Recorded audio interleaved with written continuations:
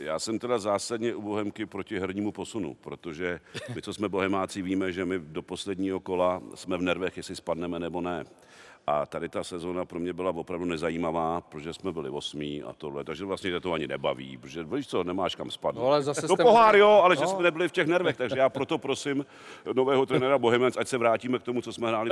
Je to pro nás napínavější. Tak to je, to je zajímavý motáš- názor. No, když se motáš na osmém místě, no tak jo, dobrý, no tak vyhrajem, prohrajem. Ale jak s příbramí, kdo spadne nebo nespadne, no tak to máš nervíčky. Že?